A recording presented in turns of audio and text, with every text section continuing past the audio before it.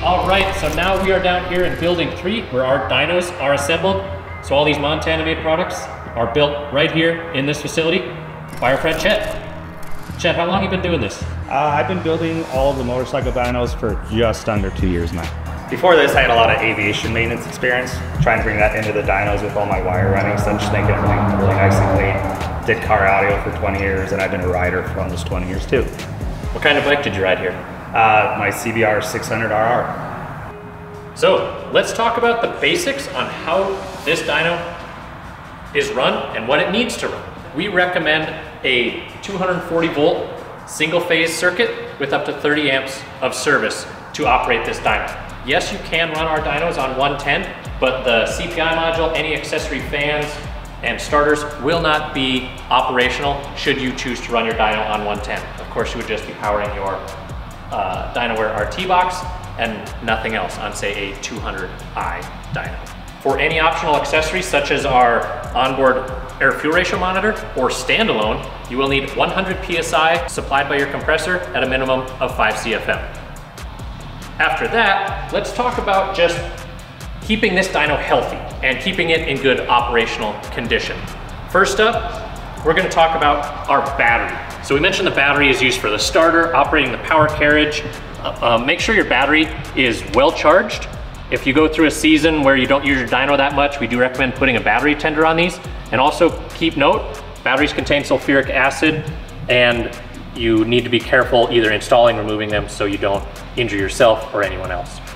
Next up, right next to that battery, is our speed pickup card. Make sure this cable stays tight and your pickup card is properly aligned before use. If you're a new operator, just double check the condition of your dyno. We do include an alignment jig that goes in between the optical pickup and the pickup disc to make sure it's in the right position, both left and right and forward and backward so that you don't damage a card during a session or have the pickup wheel run into the card.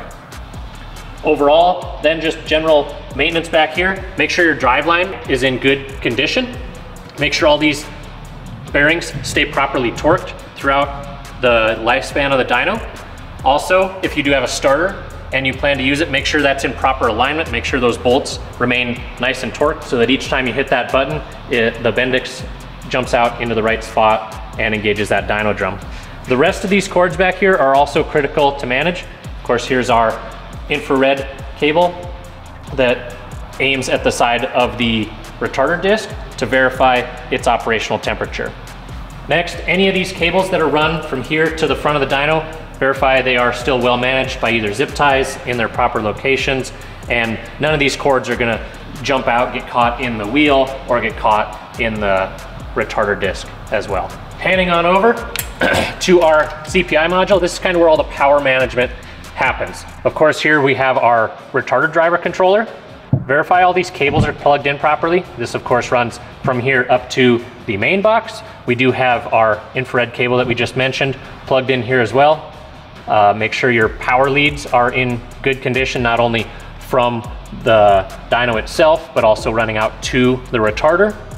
And then all of these cables are properly managed as Chet has done a great job zip tying these and keeping them in proper working order.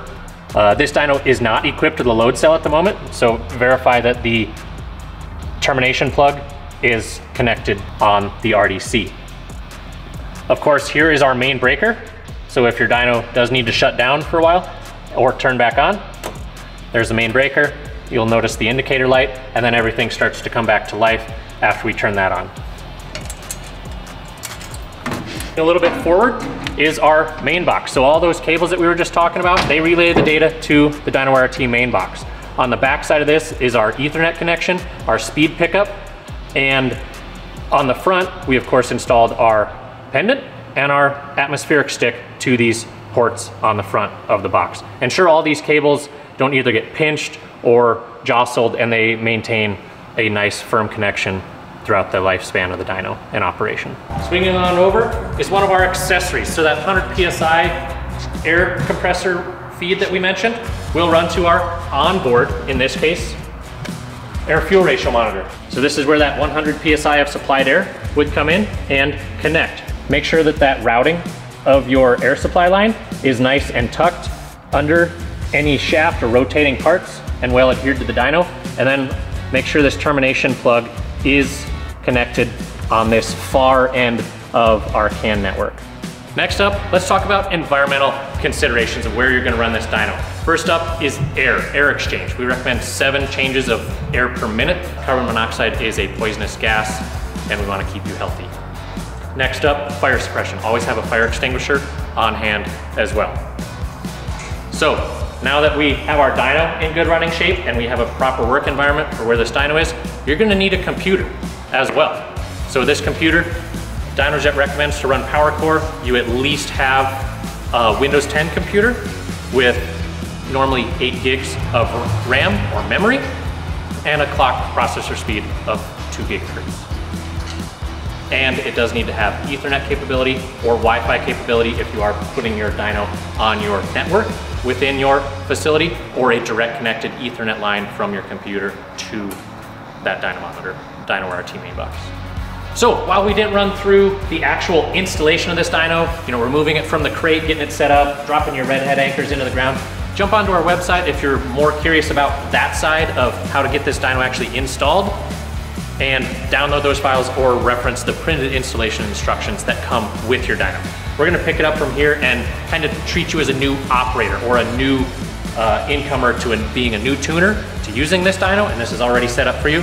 So we'll see you in the next video where we're gonna start loading the bike on, getting these ready for making runs and doing some tuning.